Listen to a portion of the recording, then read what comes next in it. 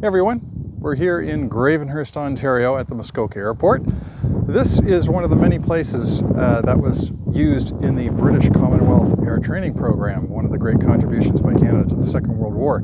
And in particular, here, this was known as Little Norway. It was one of the areas in Canada where there was a big concentration of Norwegian Air Force pilots. And so there's a small memorial inside to their service to their country and the time that they spent here between uh, 1942 and 1945. We're going to go inside and have a look.